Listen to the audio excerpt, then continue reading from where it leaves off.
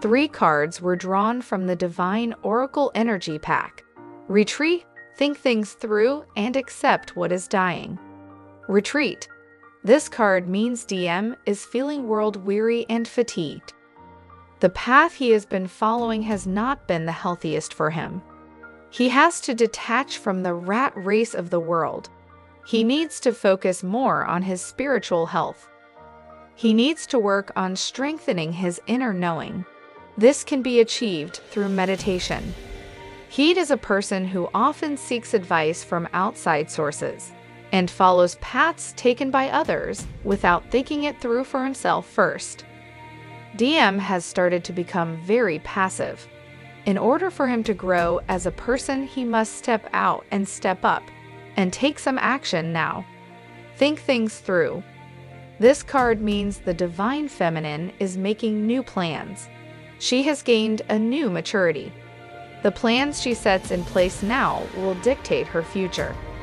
She needs to make decisions now for the good of all concerned. She is becoming more confident in her life path she knows she must stay focused to reach her goals. She will not be easily swayed now. She will set stronger boundaries and remain committed.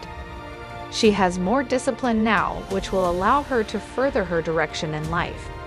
She is more assertive and direct with others. She must stay the course. It's time to be strong, decisive, and determined to see things through. Accept what is dying. For both DM and DF, an aspect of your life is clearly coming to an end. This doesn't necessarily mean complete end to your connection, but both of you need to let go of sentimentality and be honest and frank about things. With every end, there is a rebirth into something new and beautiful. By being honest with each other, you will find it easier to release the pain of the past. Circumstances may not be ideal, but sometimes you just have to accept that things are as they are for now. This is a time of endings and new beginnings.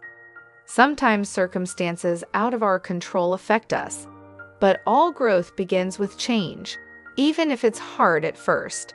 Don't give up hope. Have faith that all changes lead to blessing in disguise. Like the video if you found this reading to be helpful. Thank you.